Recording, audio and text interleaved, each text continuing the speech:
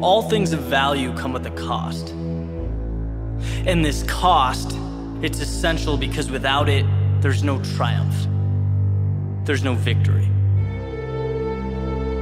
It's what separates out those who really want something, the determined.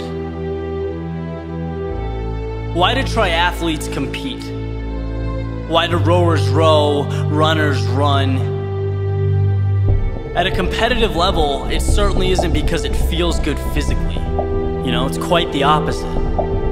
They endure a lot of rough situations, a lot of painful training, because of a tiny light at the end of the tunnel. And that light is how you build upon your self worth. It's how you define what you're capable of. And success cannot come to be without adversity. How you handle yourself in those adverse situations, that is what defines a person. That is how you build your legacy.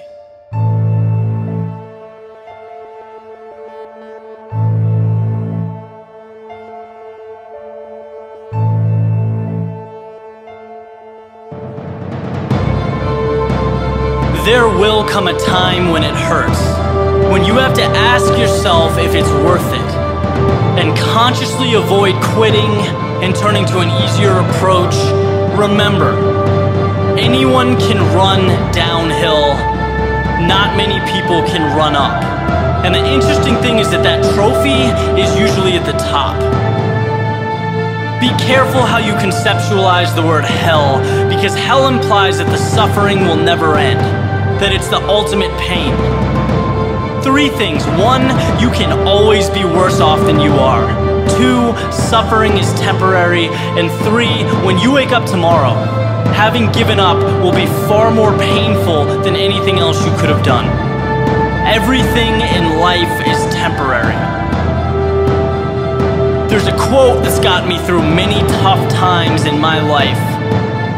And it's that pain is temporary, but quitting is forever. Oh, and how true that is. I can still remember the times in my life where I know I had more to give. That stays with you.